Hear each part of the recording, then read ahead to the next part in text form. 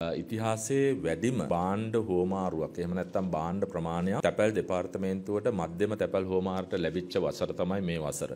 විදේශීය රටවල් වල ඉන්න පිරිස් මේ අපේ රටේ ඉන්න ඥාතීන්ට සහ හිතවතුන්ට විශාල බාණ්ඩ ප්‍රමාණයක් තෑගි ප්‍රමාණයක් පාර්ශල් වශයෙන් එවලා තිබෙනවා. ඒ නිසා තැපැල් දෙපාර්තමේන්තුවේ වක්කීම තමයි ඒ බාණ්ඩ නිසි කලට වේලාවට අදාළ පුද්ගලයා වෙත පවුල වෙත ලබා දීමේ කාර්යභාරය ඉටු කිරීම. ඒ කාර්යභාරය ඉටු කිරීමේදී අපිට විශාල ප්‍රශ්නයක් මතුවුණේ විශේෂයෙන්ම අවුරුදු සමයත් එක්ක එන දීර්ඝ කාලීන නිවාඩු. ඒ නිසා මේ භාණ්ඩ විශාල ප්‍රමාණයක් තොගයක් අපේ සතුව දැන් පිරලා තිබෙනවා. එන්නේ නිවාඩු කාල පරිච්ඡේදයක්.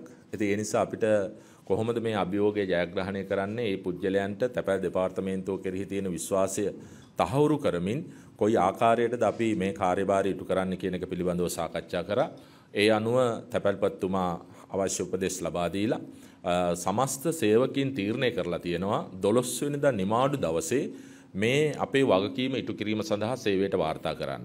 ඒ නිසා සමස්ත සේවකීන් 12 වෙනි දින නිමාඩු දිනය කැප කරලා තමන්ගේ රාජකාරය එහෙම නැත්නම් වක්කීම ඉටු කරන්න තීරණය කරලා තියෙනවා. මේ ලැබිලා තිබෙන විශාල භාණ්ඩ තොගය රට පුරාම අස්සක් මුල්ලක් නැර. ඒ අදාළ පුජ්‍යලෙන් වෙත ලබා දීමේ කාර්යභාරය තැපැල් දෙපාර්තමේන්තුවේ සේවකින් විසින් සිදු කරනවා. විශේෂයෙන්ම මේ සඳහා මම අගය කරනවා විශේෂ අමාත්‍යවරයා හැටියට. වෘත්තීය සමිති වශයෙන් මේ සඳහා සම්පූර්ණ සහයෝගය ලබා දෙන්න කටයුතු කරලා තිබෙනවා අපේ තැපැල් දෙපාර්තමේන්තුවේ වෘත්තීය සමිති.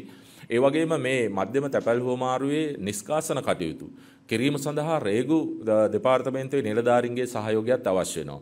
ඒ නිසා රේගු දෙපාර්තමේන්තුවේ නිලධාරීනුත් අපට දැනුම් දීලා තියෙනවා ඒ සඳහා අවශ්‍ය සහයෝගය ලබා දෙනවා කියලා. asianmirror.lk